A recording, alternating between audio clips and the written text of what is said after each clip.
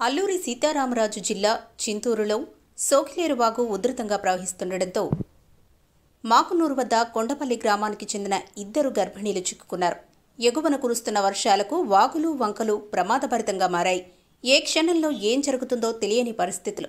ఈ క్రమంలోనే ఇద్దరు గర్భిణీలు వరదల్లో ప్రయాణించే వీలు లేకపోయింది.